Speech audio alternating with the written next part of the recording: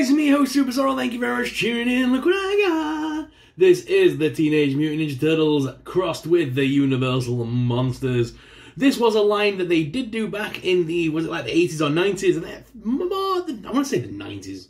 I remember as a kid anyway. I had a bunch of them, and over the years they've done plenty of like monster crossovers with the Turtles uh, where we've had like Donatello as vampires, and we've had some really cool ones over the years. But now NECA have done them, as NECA are currently got the Universal Monsters line as well as the Teenage Mutant Turtles line, so they've done a crossover series.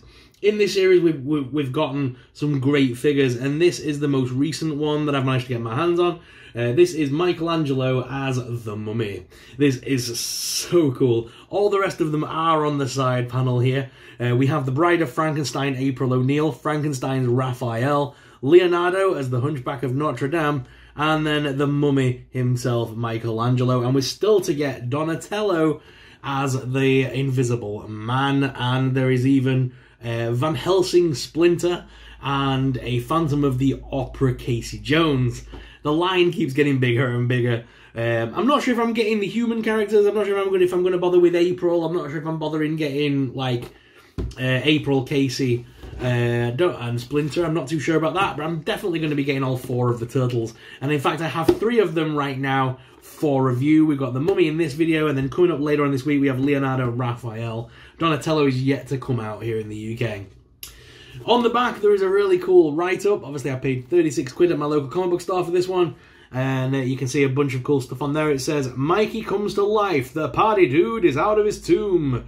Beware the curse of Cowabunga. You've been warned. Unbelievable turtle terror awaits. Is it dead or is it alive? Through ancient dust and pizza crust lurks Michelangelo the mummy. I love that. Through ancient dust and pizza crust. let's go ahead and break Mikey out of the packaging and take a closer look at this awesome figure. So yes, I was on two minds when this first series first came out. I was on two minds. I actually got Raphael uh, when he first came out, and then I sold him on. So I'm like, man, I don't think I'm going to bother with this line. And then I saw the rest of them, and like Michelangelo got announced, and this one's my favourite one so far out of all. And that's why I've done him first. This one is definitely my favourite. It just looks so cool. So we do have a spare head, which is nice, which gives us the like decrepit face look with the gritted teeth. Looks very weird. They've also given us a, I want to say that, is it a king cobra? They've given us a cobra snake. Uh, we've got some spare wraps, which are always good. They're the same spare wraps that came with the original Universal Mummy, so they're cool. We can always reuse those with our Universal Mummy if we want to. Let me snip the... Uh, snip this, we can get the figure out.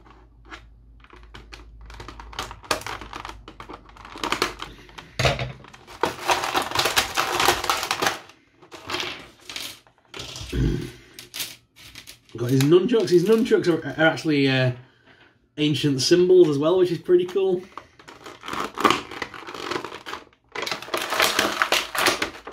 I, I, do like the face that Michelangelo comes with automatically. He's like his, his standard face that's on the figure is really nice actually.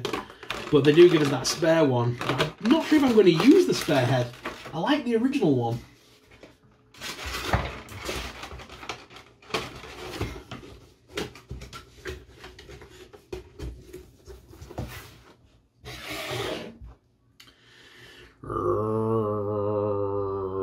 Yeah, I like that face already on him. It's kind of cool. Ah, oh, this is a nice figure, man. He looks really good. So his head's on a ball joint, so you can't make him look up and down, left and right, and all that good stuff. And oh, there's symbols, there's ancient hieroglyphs on his shell. That's nice. Arms lift up the side hinge and also rotate. Single, oh, double hinged elbows there. Hands are on ball joints. I'm always careful with neckers when they first activate because they they're notorious for breaking their neckers. Legs lift out to the side, as well as forwards, backwards. Double hinged knee there. And the feet are on rocker and pivot with display peg holes. Should you wish to use a display base, not that you're going to need to, but the option is there. Now, am I going to display this guy with his weapons? I don't think I am. he does come with some really cool nunchucks though. His nunchucks are um, little um, Egyptian like symbols. Obviously, we get two of those. There's nowhere to store them on the shell or anything. There's nowhere kind of that they would fit. I don't know. I don't. I don't think I would want this like this whole line of figures. I'm not sure if I'm going to be displaying any of them with weapons. I kind of like them just as they are. The, they're universal monsters. They don't need weapons. They're monsters. But I do like that they, that they have themed the weapons. And to be fair, if you wanted, you wouldn't even have to need to change the hands.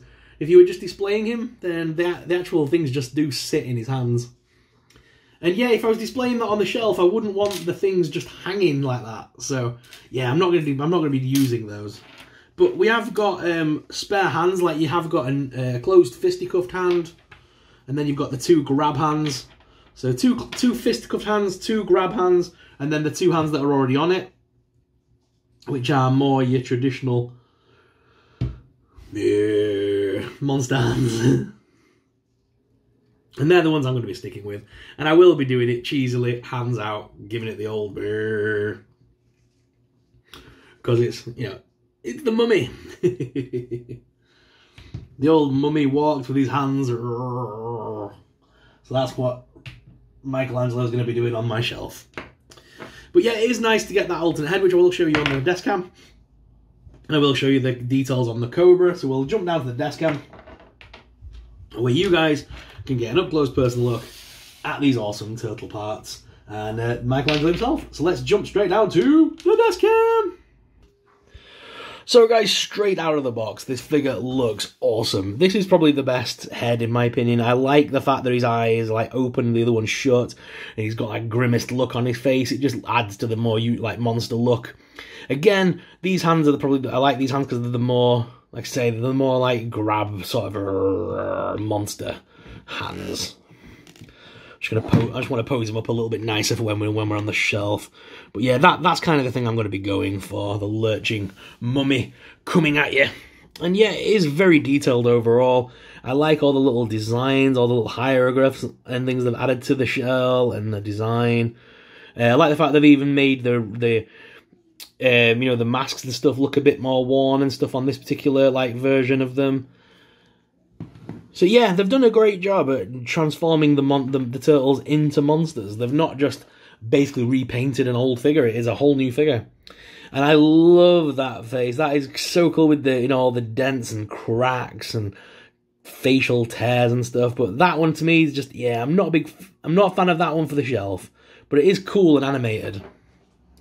Then of course he does come with the uh, the python as well, which is very cool. Or the cobra, I think it's meant to be a cobra. Is it King Cobra? Can't quite tell. I'm not that big on snakes. But yeah, it's a very cool uh, piece, but I don't think I'll be using it with the turtles. But yeah, cool idea. And then to go with our turtles as well, as I say, we've got the classic nunchucks for Mikey. We get two of those on lovely gold chains. Some spare wraps that we can hang off him, so those can be attached like around the wrist and things just to add more to the add more to the wraps and looks and things. For the shelf probably keep those on for the shelf like that because that looks pretty cool. And then of course like i say we've got a bunch of extra hands that i'm not going to be using in, on this one.